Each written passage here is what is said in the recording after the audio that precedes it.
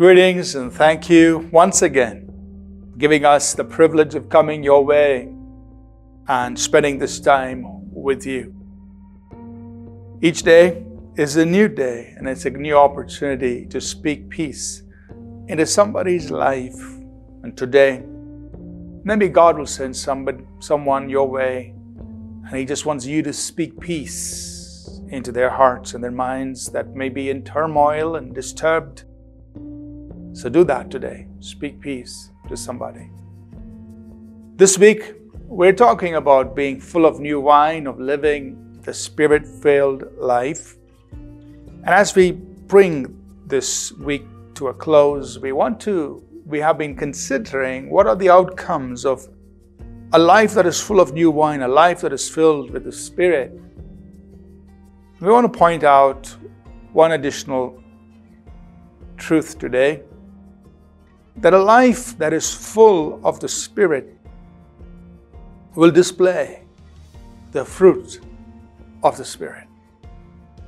And that's what the Apostle Paul teaches us in Galatians chapter 5 as he uh, instructs us as believers that we are supposed to walk in the Spirit, be led by the Spirit, and to live by the Spirit.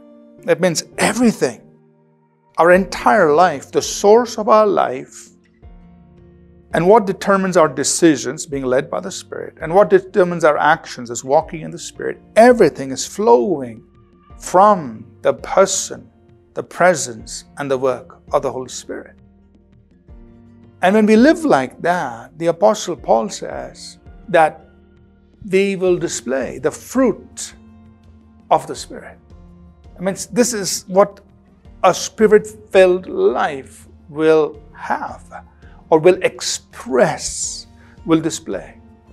He says, You will see love, you will see joy, you'll see peace, you'll see kindness, you will see patience, you will see goodness, you will see gentleness, you will see self control, you will see faith or faithfulness, steadfastness.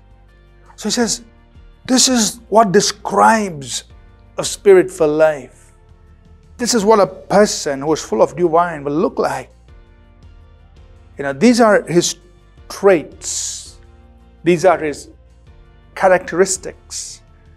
This is what he looks like. This is what his life is full of. A person who's full of the Spirit, who's full of new wine, is a person like this.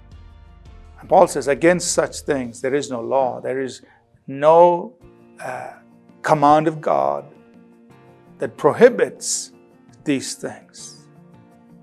So, what will be the outcome when you and I live intentionally, moment by moment, continuously, yielded in subjection to and under the influence of the Holy Spirit, where He is the source of our life. He's the one who guides our decisions. He's the one who guides our actions.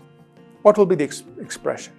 It'll be a life that is filled with the fruit of the Spirit of love, joy, peace, long suffering, or that's endurance, kindness, goodness, faithfulness, gentleness, and self control. What a wonderful life that would be. People will look at it and say, I see Jesus in that person. Let people see Jesus in you and me as, you, as we live full of new wine, full of the Holy Spirit. Let's pray. Father, we ask that day by day,